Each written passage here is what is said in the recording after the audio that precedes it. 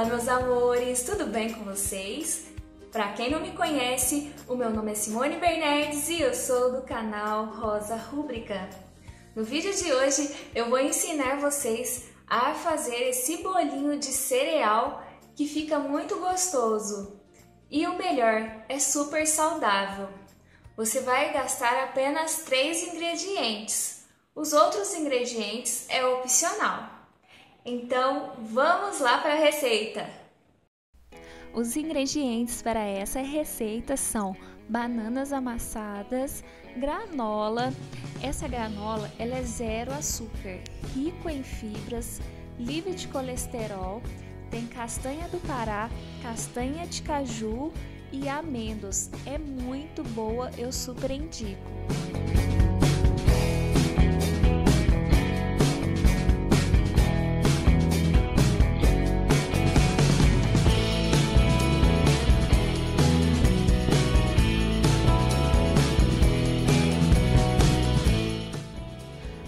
Estou acrescentando a quinoa, que segundo o Dr. Lair Ribeiro, a quinoa está entre os três melhores alimentos do mundo, mas ele é opcional.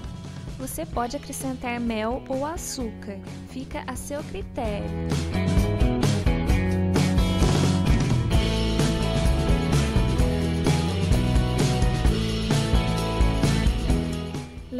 Forno por aproximadamente 40 minutos.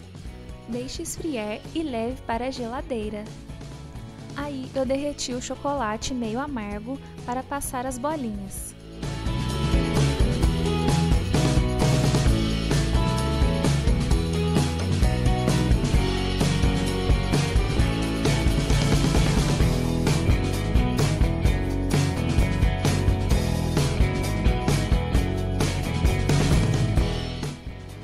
Levar para gelar e está pronto.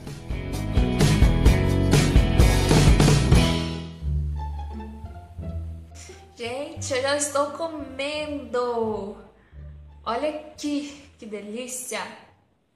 Olha só a textura dele, ficou muito gostoso. Então, igual eu falei para vocês, a quinoa é opcional, o açúcar mascavo também. Mas esse cereal é muito gostoso, gente. Podem fazer, vale a pena. É, você tem a opção também de colocar o mel, que vai ficar muito gostoso. Mas aqui, hum, muito bom. Então, eu indico vocês a fazerem. Muito saudável, muito gostoso. Hum. Hoje eu acho que eu vou comer, sei lá quantos. Ai, gente, eu sei. Eu tô tentando diminuir o açúcar, mas é tão difícil, tão difícil. Mas isso daqui vai ajudar bastante, gente. Hum. Bom, eu vou finalizar o vídeo. É.